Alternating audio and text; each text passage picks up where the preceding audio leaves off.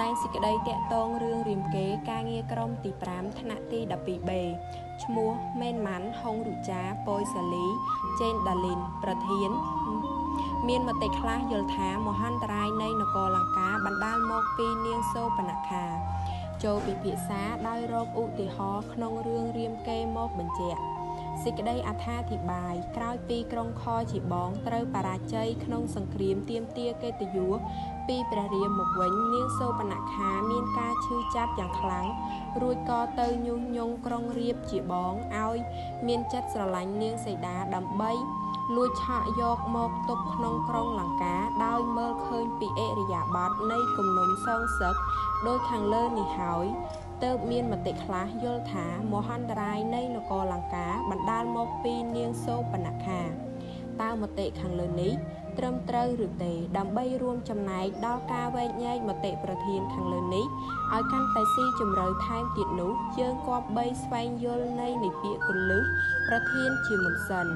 ពាក្យថាមហន្តរាយនៅពេលនេះគេសំដៅទៅលើការវិនិច្ឆ័យហិនហោចខ្ទេចខ្ទី សាបសូន្យគ្មានសេះសល់អ្វីឡើយរីឯពាក្យបណ្ដាលមានន័យថា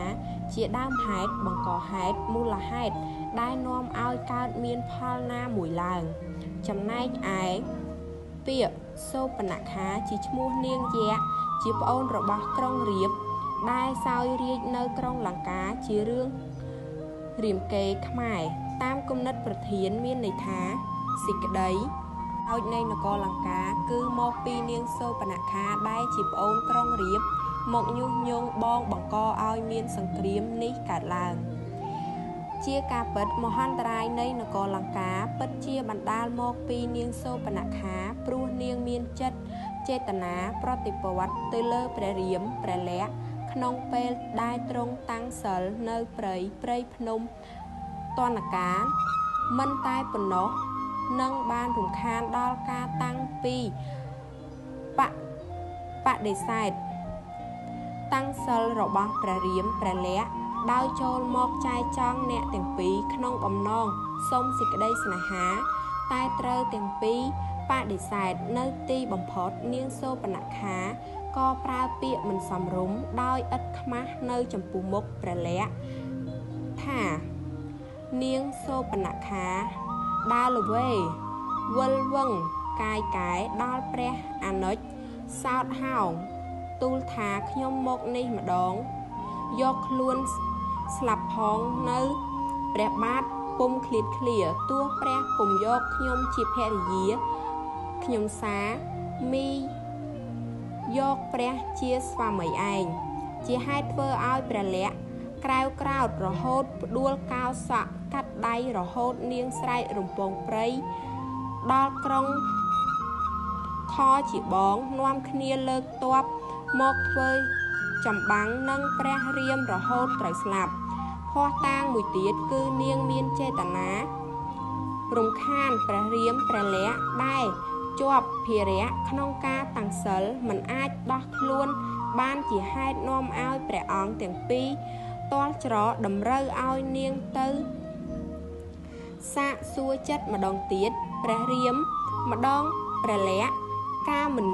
យល់ពីស្ថានភាពបែបនេះជាប្រការមួយដែលនាំឲ្យនាងខកចិត្តត្បិតស្នេហ៍ដែលខ្លួនកំពុងស្រមើស្រមៃចង់បាននោះដោយឃើញបងខ្លួនត្រូវបរាជ័យបែបនេះហើយ ជាហេតុនាំឲ្យនាងទៅរកក្រុងរាពណ៍ នៅក្រុងលង្កាដែលជាបងនាងដែរនោះដោយនិយាយពីសម្ផស្សនាងសីតាល្អលើសគេហាក់ដូចជំរុញឲ្យក្រុងរាពណ៍មានចិត្តត្រេកត្រអាលចង់បាននាងសីតាមកធ្វើជាមហេសីមួយរំពេចទោះជាដឹងថានាងមានស្វាមីហើយក៏ដោយបញ្ហានេះក៏បណ្ដាលឲ្យចិត្តក្រុងរាពណ៍ខិតខំរិះរកវិធីយ៉ាងណា ដើម្បីចាប់នាងសីតាឲ្យបាន ចំណែកព្រះរាមវិញក៏មិនព្រមចោះញោមក៏ខិតខំរកវិធីតបតនឹងក្រុងរាពណ៍វិញតាមយុទ្ធសាស្ត្រយុទ្ធវិធីរៀងរៀងខ្លួន នៅចុងបញ្ចប់សង្គ្រាម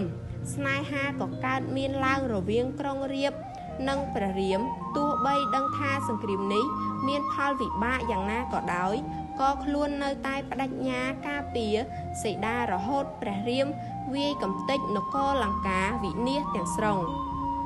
ហន្តរាយនៃនគរលង្កាពិតជាបណ្ដាលមកក៏ដោយពីនាងសូបនខាប្រកាសមែនដែលនាងមានចិត្តចែចង់មនុស្សប្រុសខុសច្បាប់ទាំងនោះផ្ទុយមកវិញបើសិនជាគេពិចារណាម្ដងទៀត ពិតជាមើលឃើញមូលហេតុពិតនៃវិនិស្សកម្មក្រុងលង្កានេះជាមិនខានទោះបីទំនាស់បានកើតឡើងក៏ពិតមែនបើជាគូទំនាស់បានធ្វើសាបទាឲ្យគ្នាទៅវិញទៅមកម្លេះសំនឹងដោះស្រាយបានជាមិនខានឡើយទាំងខាងព្រះរាមទាំងខាងក្រុងរាពណ៍សុទ្ធតែចូលចិត្តប្រើអំពើហិង្សាព្រោះរឿងនេះសុទ្ធតែបានប៉ះពាល់ផលប្រយោជន៍រៀងៗខ្លួន